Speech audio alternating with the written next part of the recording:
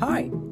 What if I told you that there was a soft, slug like creature that could penetrate through your body, live inside almost every part of your body, possibly castrate you, and possibly change your sex, and even zombify? Sounds like a nightmare.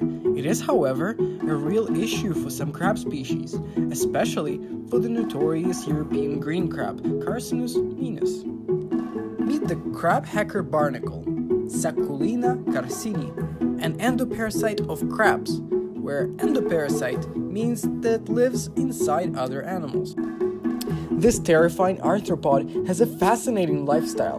It attaches to a young adult crab as a larva. Then, it injects differentiated cells into crab's blood. Inside the crab, it develops a root like system of filaments that extend into every part of crab's body except the heart and the gills. This part of the parasite is called the interna. And the job of the interna is to suck the nutrients from the crab.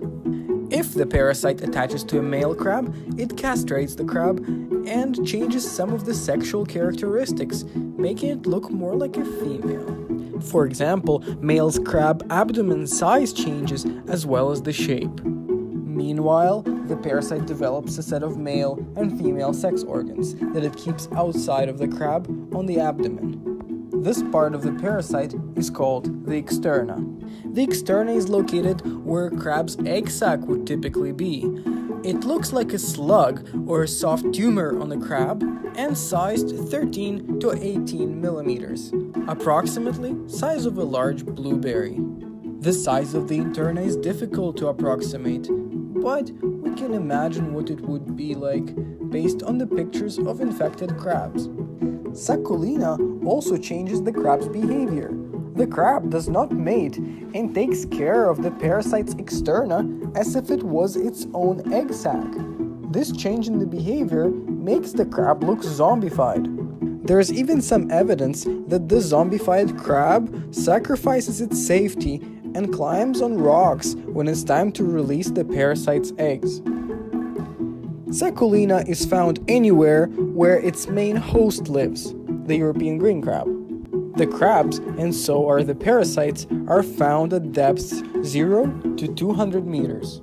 The European green crabs are native to Europe and North Africa. However, they've been invading other parts of the world. This invasive crab fiercely competes with local crabs and negatively impacts shellfish fisheries. In the US alone, the crab causes about $44 million worth of damage per year. It's no wonder that humans looked at Sacculina as the potential way to limit the invasive crab population. Scientists, however, doubtful that that would be a good idea, because the parasite has low host specificity and can infect crabs others than the European green crab. Sacculina carcini is a very cool example of parasitism in the ocean, and I found it remarkable that an animal could develop adaptations to manipulate its host. Did you find it cool? Check out seascovery.org if you want to find out more about other cool ocean animals. Until next time!